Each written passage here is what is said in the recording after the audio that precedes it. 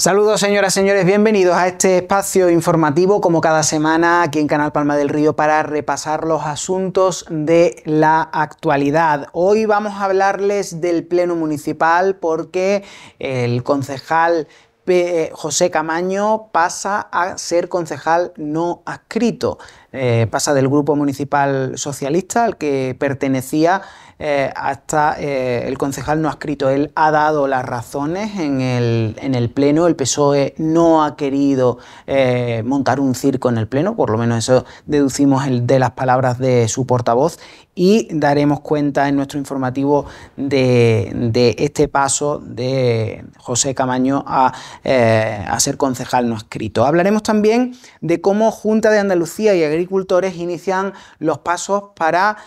crear la interprofesionalidad del mundo de los cítricos, una interprofesional andaluza. Eh, se ha reunido eh, la Mesa Andaluza de Cítricos, una mesa donde también está presente la Asociación Citrícola Palma Naranja de Palma del Río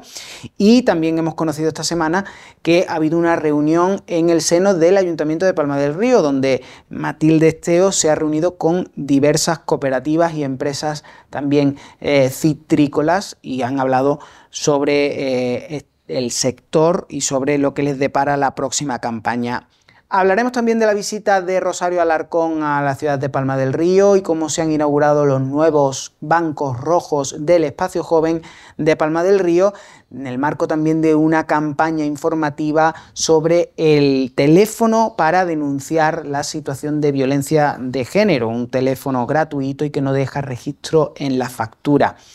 El Colegio Salesianos San Luis Rey de Palma del Río ha finalizado su campamento Magone, un campamento dirigido a chavales, adolescentes y jóvenes, donde han pasado unos días de divertimento y ocio en las inmediaciones del colegio y también en salidas eh, afuera, fundamentalmente a la, piscina eh, del Polideportivo Municipal y también a la playa y a Isla Mágica que han ido estos chavales. Contaremos un poco sobre sobre este hecho y hablaremos también cómo el PSOE de Palmas del Río ha hecho balance de la gestión socialista en estos, en estos seis primeros meses del año, un balance muy positivo, eh, también en base a eh, ese, esos 3 millones de euros que llegan a Palma del Río gracias a la gestión socialista anterior y eh, cómo se han conseguido esos fondos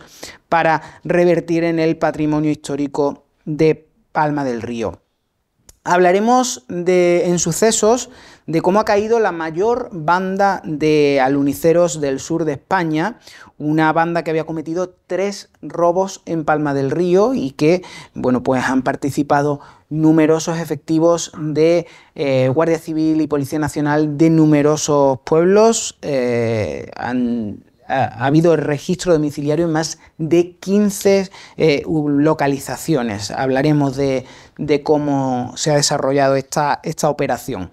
Eh, hablaremos de actividades acuáticas que llegan eh, próximamente a Palma del Río, como una actividad de piragua en el río para conocer la desembocadura del río Genil en el Guadalquivir y cómo se prepara ya el Gran Prix acuático que tendrá lugar en la Plaza Mayor de Andalucía el próximo 9 de agosto. Hablaremos del balonmano Ars de Palma del Río que eh, ha firmado un acuerdo de filialidad con el balonmano Lauro de Lora del Río para formar también a este club, eh, tener cantera y crecer eh, ambos equipos. Y eh, hablaremos también del campeonato, del campeonato provincial de pádel, el quinto que se celebró en Palma del Río, en las instalaciones de mm, pádel indoor La Naranja y donde